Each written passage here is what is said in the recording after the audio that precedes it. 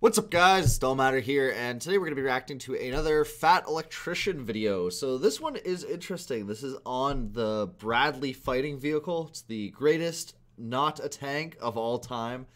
And we've reacted actually a couple different videos on the Bradley fighting vehicle. Uh, we reacted to one of the clips from the movie. I can't remember what the name of the movie is.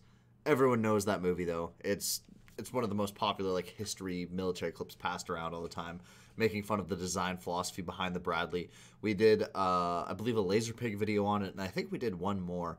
And the one thing I've noticed about the Bradley fighting vehicle, everyone either seems to absolutely love it or absolutely hate it. But this is going to be interesting to me because the Fat Electrician, I believe, is the first person who's actually served in any military, let alone the U.S. military, which actually uses it that is going to be discussing it. Now, I don't know if he's ever been in one. Uh, I don't know what his. I think he was an electrician also when he was in the military, if I'm not mistaken. I might be wrong there. Uh, somebody had mentioned it, what he did before, but I can't remember exactly what it was. But anyway, link to the original video down below, and uh, yeah, let's see his take on this. I'm kind of interested.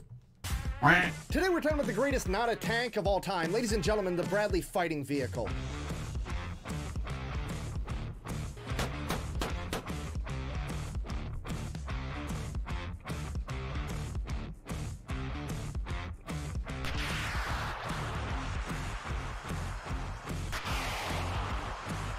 You know what? This is going to be an unpopular opinion, but that looks like a tank to me. I'm a simple man. If it walks like a tank, and it revokes birth certificates like a tank. I'm the exact same way. I know there's like technicalities and like what is and isn't a tank, but it it just look at the fucking thing. It's a tank. As far as I'm concerned, it's a tank. I mean, in the case of the Bradley, it even parties like a tank with the tanks. This was a thing. What is this? But apparently, oh, Harlem because it's not. Man, the Har. I forgot about that. That that was when I was in high school. That I can't. Man, that was so long ago. I can the Harlem Shake, man.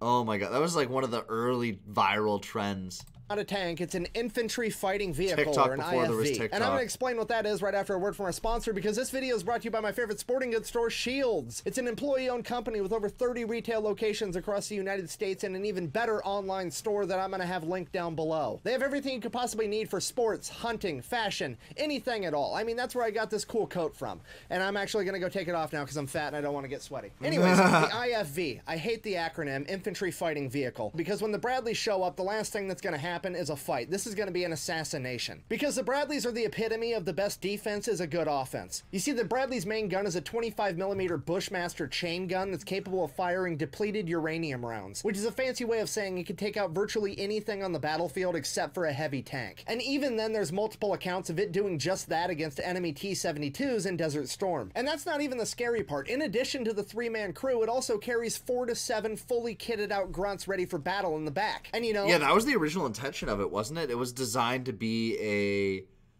like a troop transport vehicle, and then they just kept adding stuff to it. the thing is, I don't know how much of the the movie clip. I can't remember the name of the movie. Uh, Pentagon Wars. That's it.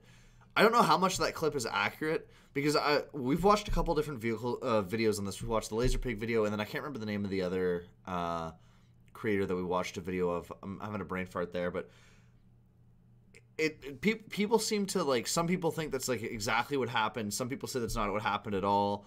And then you have like counter arguments to it. And I, I, I probably should just like get into the weeds and actually go through and find out. But the problem is so much of that stuff's probably still classified that it would be hard to even figure it out right? It, it seems like a lot of it's just like hearsay from stuff that people who may or may not have been involved basically say. And it's like this guy's opinion versus that guy's opinion. And a lot of them were you know, so much of it seems to be like wrapped up in like fucking bureaucratic bullshit politics too. It's so hard to figure out exactly what happened there.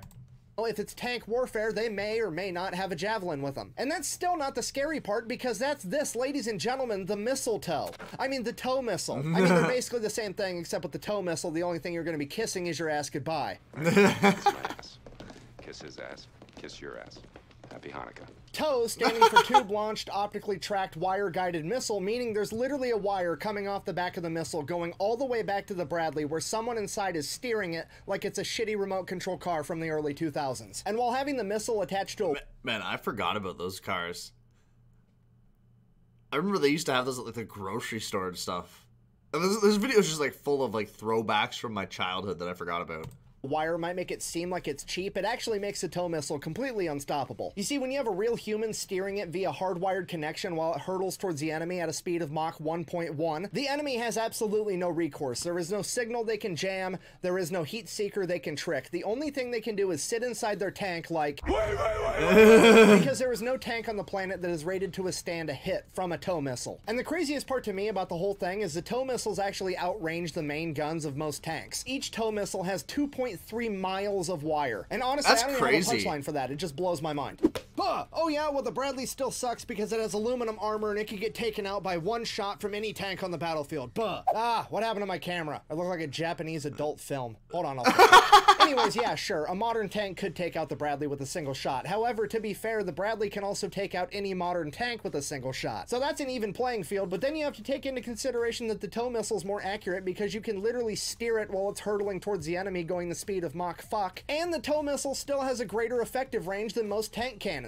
So I'm gonna go ahead and give the advantage to the Bradley. But if you don't Yeah, and on top of that, like again, the like even though it basically is a fucking tank, it was not designed to be a tank, right? This is not something that was designed to get into tank versus tank battles, right?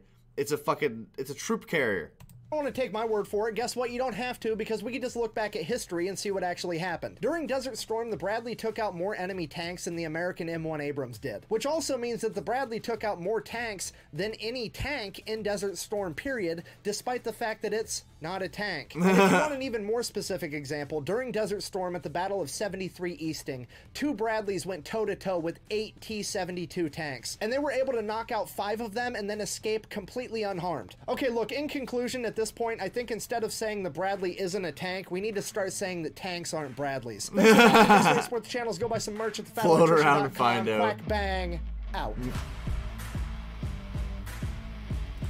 Man, I, I still need to buy some of those shirts, but every there's always a new one I see that I want, and then I'm gonna end up like dropping like three hundred dollars on this fucking website. I know it, but yeah. So I definitely need to get into the weeds on the Bradley because it seems like all, this is the only mil, like actual military guy that I've seen talk about it, and he seems to love it. But the one thing I've noticed with like it's it's probably one of the most controversial vehicles in the military, but I think a lot of that just has to do with that Pentagon Wars movie, and I'm not sure how much of that is. I don't know if propaganda is the right word, um, because it's like not an enemy nation or anything. It's like little. I guess it is kind of propaganda, but it's propaganda for like some weird intra bureaucracy political battle between like different factions within the same bureaucratic mechanism. Like it's the entire history of that thing is so fucking weird. But anyway, let me know what you think below. Like, comment, subscribe. I'll see you guys in the next one.